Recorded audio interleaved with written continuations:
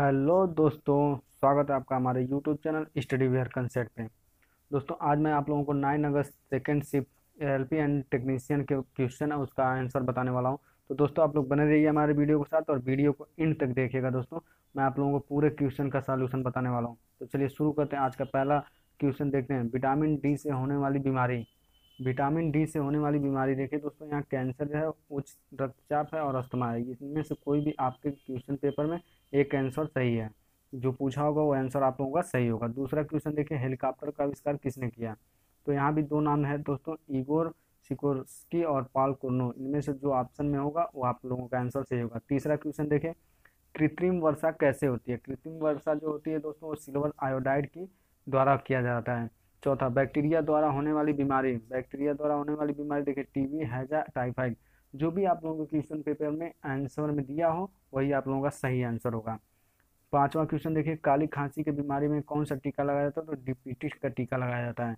छठे क्वेश्चन में, सत्रह अक्टूबर उन्नीस सौ नवासी में कौन सा दिन था? तो आपका दिन हो जाएगा मंगलवार।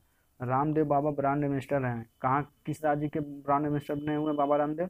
तो हरियाणा के उसके बाद ओलंपिक 2016 कहाँ हुआ था? तो ये आप लोगों का ब्राज़ील में हुआ था। नेक्स्ट क्वेश्चन देखें। नाइन्थ में, फ्यूज़ तार लगा होता है। जो फ्यूज़ तार लगा होता है दोस्तों, वो सीरीज़ में आप लोगों का लगा होता है। उसका दसवें क्वेश्चन पूछा गया आप लोगों का कि चीफ इकोनॉमिक एडवाइज़र कौन है? जो प्रेजेंट टाइम में चीफ इकोनॉमिक एडवाइज़र है, वो आप लोगों का अरविंद सुब्रमण्यम जी हैं।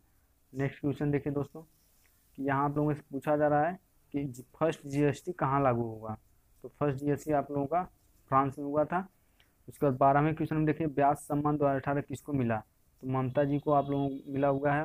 तेरहवें क्वेश्चन में देखिए, किस मुख्यमंत्री के पिता एक महाराजा हैं?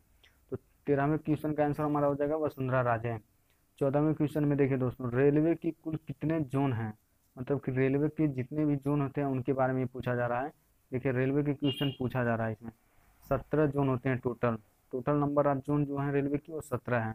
पंद्रहवें क्वेश्चन में आप लोगों से पूछा जा रहा है कि कर्नाटक के मुख्यमंत्री कौन है?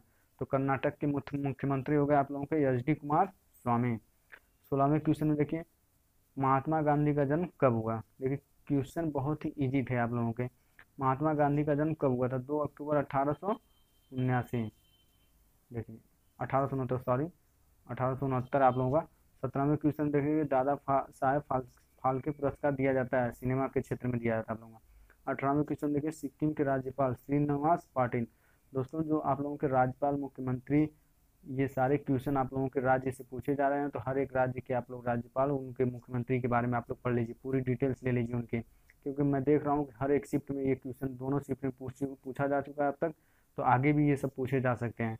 तो आप लोग इन सब के मुख्यमंत्री और श्रीनिवास, जैसे पाटिल पूछा गया था, सिक्किम सिक्किम के राज्यपाल तो इन लोगों के बारे में आप लोग जानकारी रखें। अगर दोस्तों वीडियो पसंद है तो वीडियो को लाइक कीजिए और शेयर कीजिए। अभी तक आप लोगों ने यदि हमारे चैनल को सब्सक्राइब नहीं किया तो सब्सक्राइब कर लीजिए।